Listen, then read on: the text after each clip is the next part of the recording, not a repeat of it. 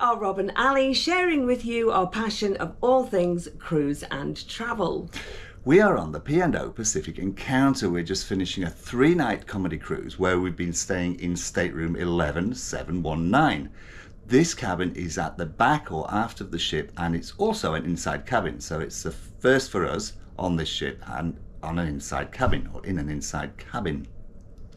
If you want to see what this cabin is actually like, watch our cabin tour, but the purpose of this video is to do a review of how we found the cabin, both from a location and the fact that it's an inside perspective. So, in terms of location, So, statistically, this cabin is supposed to be one of the worst on the ship. And that's because its location high up, um, deck 11, and that it's towards the back of the ship. And also that it's inside, obviously, doesn't have a window or a balcony. So, why is it worse at the back? when we say worse, what we're talking about, we're talking about motion. At the back and high up, or at the front and high up, you're going to feel more motion than you will in the centre and low down.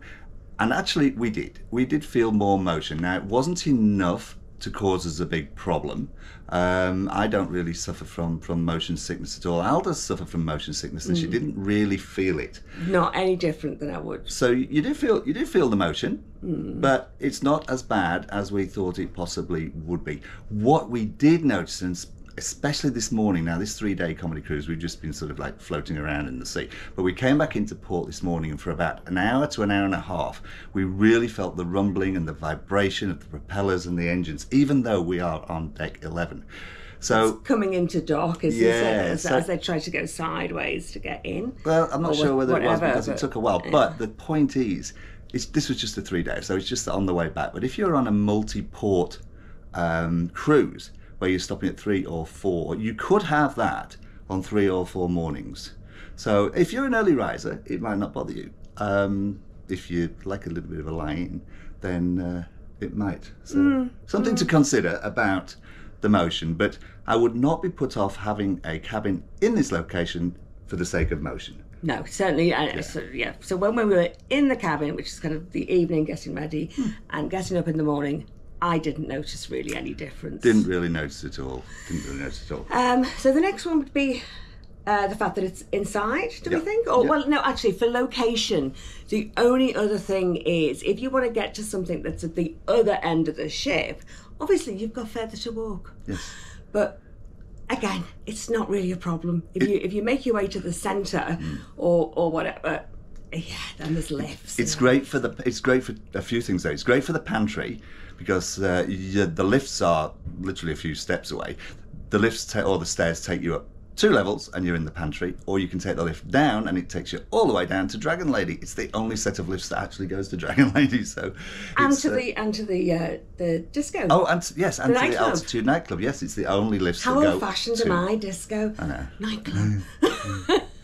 so yeah, so it did have its good points in that that Oh, way. absolutely, yeah, Um, so in terms of an inside cabin where there's no window and no balcony, our main concern was that we were going to feel a little bit hemmed in um, and a little bit claustrophobic. With no natural light. Yeah. yeah. Actually, it hasn't been a problem. It just it wasn't a problem at all. We didn't feel like that. No, I did think I would really notice it. Um, and you do notice it because you need the lights on all the time. And in the morning, you don't know whether it's three o'clock in the morning or nine o'clock in the morning.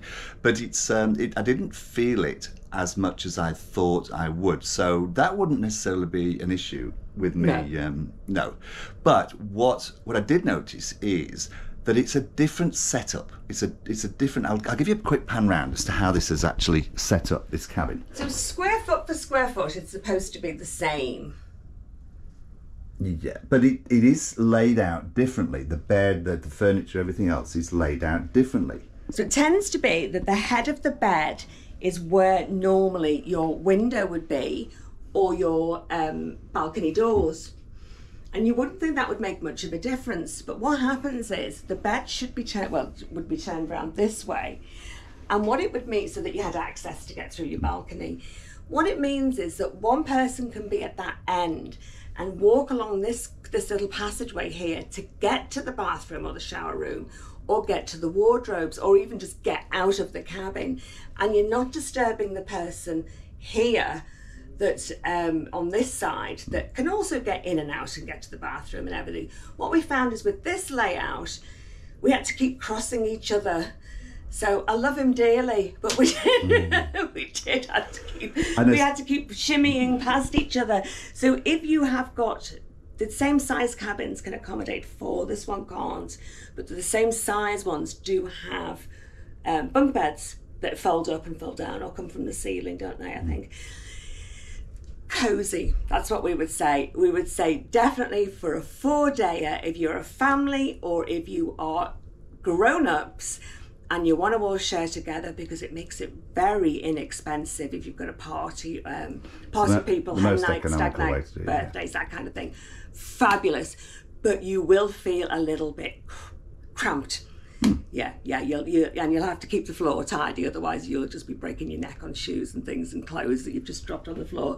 So, but what we would say is it would not stop us from travelling if there was only insides. Obviously, like anything, horses for courses.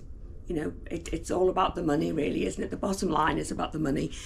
Wouldn't stop us from from cruising. It wouldn't, but if the girls came with us, I don't think we'd even consider sharing a cabin um, because of, just because of the space, not because of anything else, really, just because of the space. So You see, I would.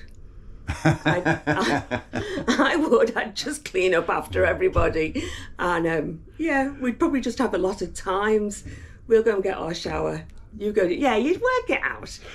You'd be fine. you could, yeah, you Um, could. and the the air conditioning works. That was the other thing. I thought that we wouldn't get the air conditioning for some reason. I just had it in my head that we would be very very hot in this box, yeah.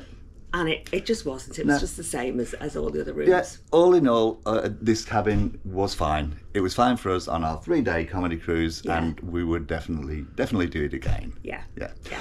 All right, so that's enough for us from us for now. If you've liked this video, please hit like, please hit subscribe, and if you want to see more of our videos, hit the notification button.